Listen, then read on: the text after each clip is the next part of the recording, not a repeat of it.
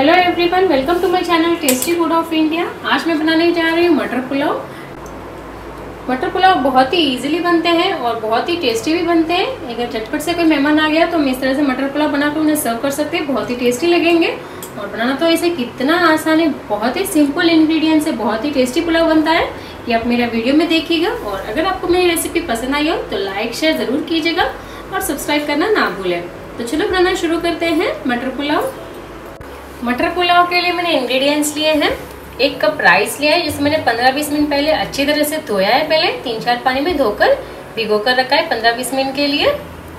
और सूखे मसाले लिए, इसमें एक तेज पत्ता एक स्टार एनिस एक इंच दालचीनी का टुकड़ा दो तीन लविंग हाफ़ स्पून सौंफ और एक स्पून कसूरी मेथी।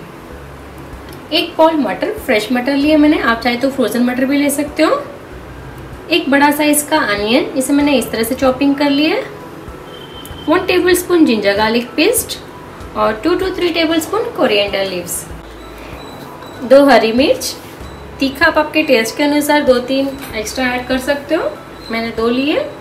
बहुत ही कम इंग्रेडिएंट से बहुत ही सिंपल सा और बहुत ही टेस्टी मटर पुलाव बनाएँगे हम। तो अब हम बनाना शुरू करते हैं मटर पुलाव। ये पुलाव हम कुकर में बनाएँगे। तो एक मैंने कुकर में टू टेबल स्पून ऑयल लिया है। ऑयल गर्म हो जाए, फिर हम बनाना शुरू करते हैं। ऑयल गर्म हो चुका है। अब मैं ये सारे सूखे मसाले डाल देती हूँ। तेज पत्ता स्टार अनीस कसूरी मेथी, लविंग, दालचीनी, सौंफ।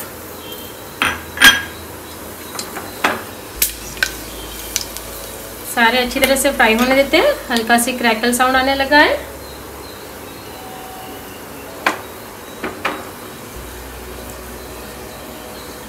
हल्का कलर चेंज हो गया, अच्छी खुशबू भी आने लगी है मसालों की। अब मैं इसमें डाल देती हूँ अनियन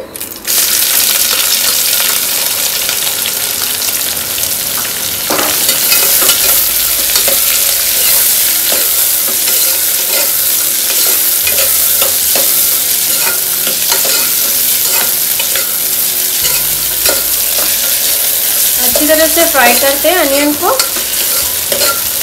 अच्छे ट्रांसपेरेंट हो जाए, जब तक हमें फ्राई करना है।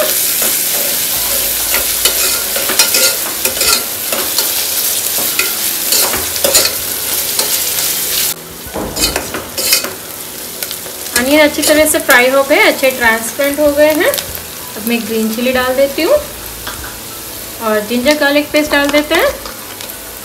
जिंजर गार्लिक पेस्ट को भी अच्छी तरह से फ्राई करेंगे। अच्छा ऐसा कच्चापन निकल जाए, जब तक हमें फ्राई करना है।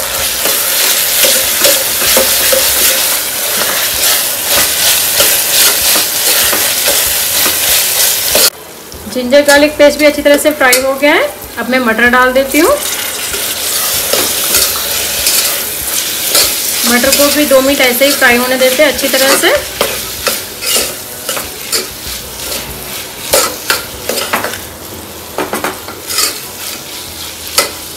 कांस्टेंट हिलाते रहेंगे। बहुत ही अच्छी स्मेल आ रही है मसालों की।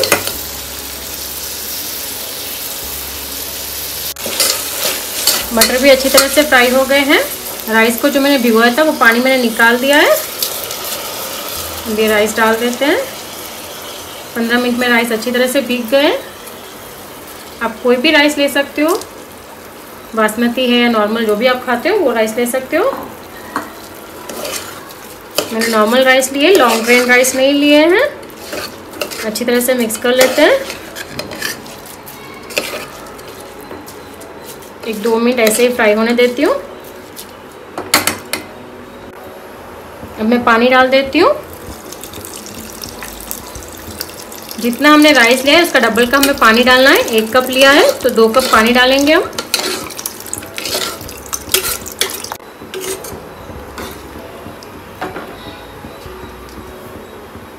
वन स्पून नमक डाल देती हूँ। नमक आप आपके टेस्ट के अनुसार डालिएगा।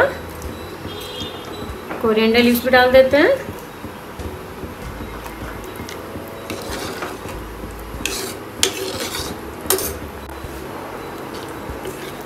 अच्छी तरह से एक बार मिक्स कर लेते हैं।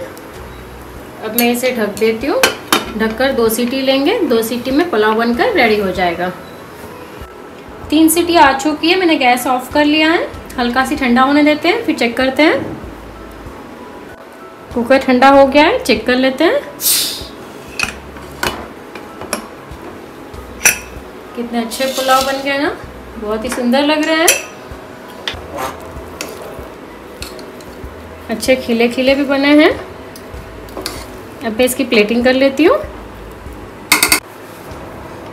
मटर पुलाव बनकर रेडी हो गया है। मैंने दही के रायते के साथ प्लेटिंग कर लिया। आप दही के रायते के साथ या छाछ के साथ, अचार के साथ, किसी के साथ भी खाएगा बहुत ही टेस्टी लगेगा।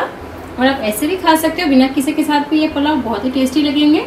और बनाना तो इसे कितना आसान है, बहुत ही इजीली बहुत ही टेस्टी पुलाव बनकर रेडी होता है। तो आप मेरा वीडियो देखकर ज़रूर ट्राई कीजिएगा। मिलेंगे फिर एक बार ऐसी कोई नई रेसिपी के साथ। तब तक के लिए बाय बाय